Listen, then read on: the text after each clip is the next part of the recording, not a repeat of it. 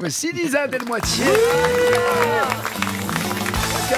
Vous, vous, Lisa, vous n'auriez pas écrit un livre comme ça sur vos premières amours? Non, pas du tout. Non, non. Bon, déjà, j'ai appris dans le livre qu'Ernest Hemingway s'était donné la mort en 1961. On l'a dit, année de naissance de Nagui.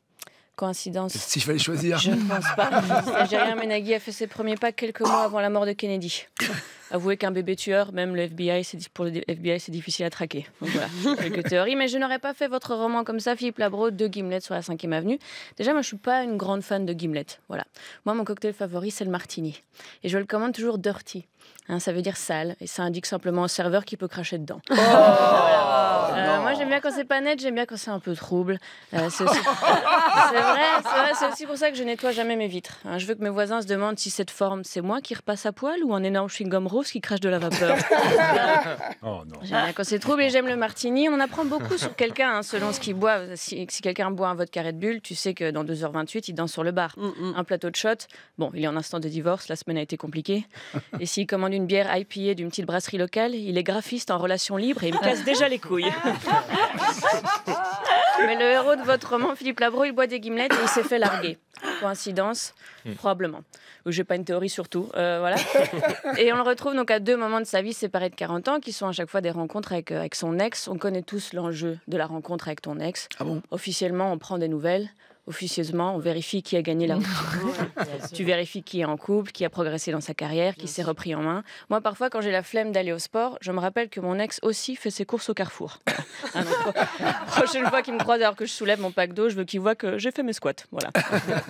Et je ne veux pas spoiler Philippe, donc penchons-nous sur la première rencontre entre votre héros et son ex, où clairement, il a perdu la rupture. Hein. La preuve, il termine en disant bah, Tu pourras lui raconter tout ça à ton type quand vous aurez baisé.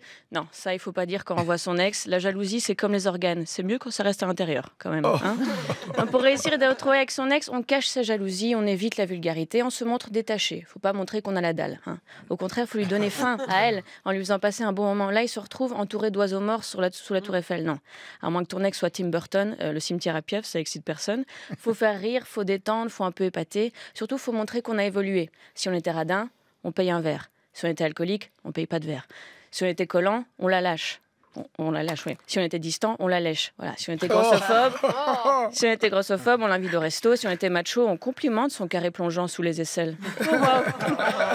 Y a même des tresses sous les bras pour grimper à la fenêtre de ma princesse déconstruite.